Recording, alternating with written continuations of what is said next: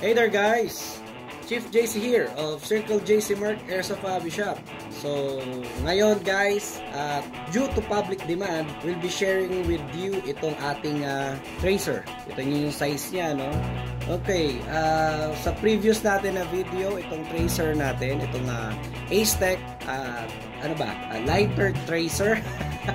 okay, gwapo nito guys. Uh, na-fit natin to sa Glock series and uh, I'll be showing you guys na may nagtatanong kung mag-fit ba siya dito. Alright, okay, it's high kappa. Okay, it's a T-Rex high kappa na black edition. Long unit, okay. So we'll be fitting itong uh, tracer lighter dito. So, we'll give you na rin na tips. Okay guys? Pakita muna natin tong tracer lighter natin. Okay, so tracer lighter, so very lightweight siya, ang ganda ng itsura niya guys, so very sleek design. Okay, nagtatanong, battery operated po ito guys, and uh, built-in na po. Okay, to charge the batteries, open nyo lang po yung lid sa front. It's uh, USB powered. Charge nyo lang siya with, ayan po, may USB. May kasama naman na po tayong cable for this. Okay, up, yeah, close natin siya. Ayun. Now, ito po maganda dito sa unit natin. Uh, pwede nyo siyang gamitin not only for pistol but also with your rifle. It's convertible po. All you have to do is remove po itong ating uh, adapter. Okay? There you go. Okay?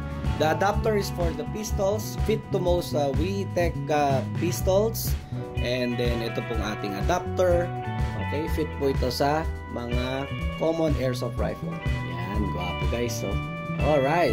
lang muna natin itong uh, tracer lighter natin dito sa uh, pistol natin na high kappa T-Rex. Alright, para matest natin. Ayos. Yun. Poging-pogi. Okay? So, let's go. Let's test it out. Alright. Test natin to with this magazine. Okay? Extended magazine for high kappa T-Rex. Okay? Yun! Alright, oh. Guwapo, guys. Let's test. Okay, naka naka-on ang ating ceiling lights. Try lang natin ng maliwanag. Wow! Kita ba? Hindi ba, no? Alright. So, try natin ngayon ng naka-demon lights.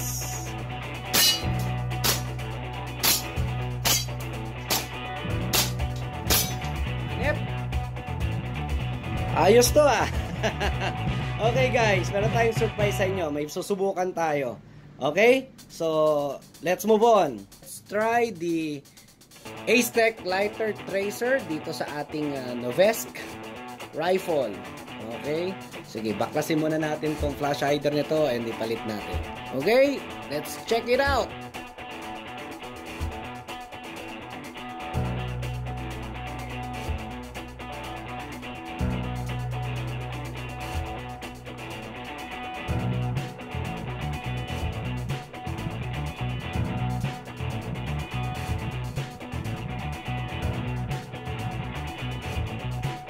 Okay guys, ito na siya.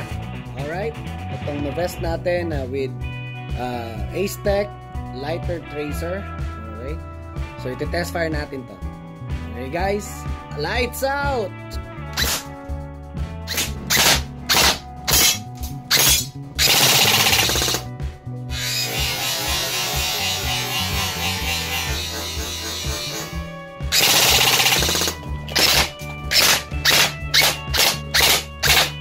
Okay guys, that's uh, Ace-Tech Lighter Tracer. Alright. It's a convertible. Pwede po para sa rifle and the pistol. We tried it and test it. Uh, ceiling lights on and off. Okay guys, uh, this Ace-Tech Lighter Tracer works with uh, special BB rounds. Mga tracer BB rounds po natin.